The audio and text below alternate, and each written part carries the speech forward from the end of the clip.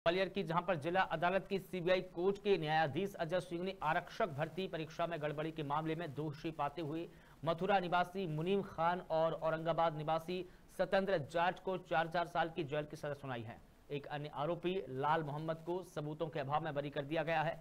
दरअसल ग्वालियर में व्यापाम ने साल 2012 में करवाई गई आरक्षक भर्ती परीक्षा में छल से अभ्यर्थियों के स्थान पर दूसरे व्यक्ति की परीक्षा देने का मामला सामने आया था। तीन आरोपियों के खिलाफ में मामला सीबीआई कोर्ट, यानी न्यायालय में लंबित था।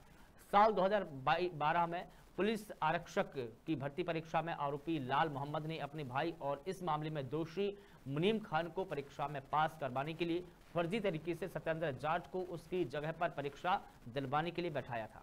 परीक्षा का आयोजन मुरार के एक स्कूल में हुआ। इसके बाद जब दस्तावेजों की जाँच हुई तो परीक्षा में बैठे अभ्यर्थी की उत्तर पुस्तिका और मुनीम खान की हैंडराइटिंग और अंगूठी के निशान आपस में नहीं मिले।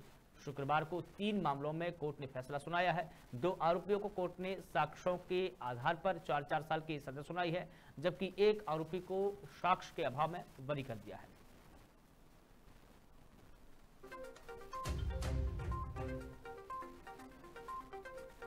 ये मुनीम खान नाम का व्यक्ति था, जिसने कि आरक्षक भर्ती परीक्षा 2012 में, जो कि व्यापम द्वारा कंडक्ट कराई गई थी। इसमें आवेदन अप्लाई किया था और उसका चयन भी उसमें हो गया था। बाद में ये जानकारी मिली कि इन्होंने, इनकी जगह कोई और अन्य व्यक्ति बैठा है। तो विवेचना में जब उसको पाया गया तो उसकी जगह सत्येन जाट नाम का व्यक्ति उसकी जगह परीक्षा दी थी, जिसके कि आर सीट से फ़ोटो, अंगूठे का निशान और उसकी लिखावट मिसमैच पाई गई थी। और इस डीलिंग में उसके भाई लाल मोहम्मद ने भूमिका निभाई थी।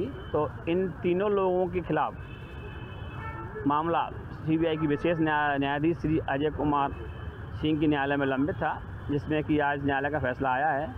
इन्होंने मुनीम खान और सत्येंद्र को चार चार वर्ष के सश्रम कारावास की सज़ा सुनाई है और मोहम्मद लाल को साक्ष्यों के अभाव में बरी कर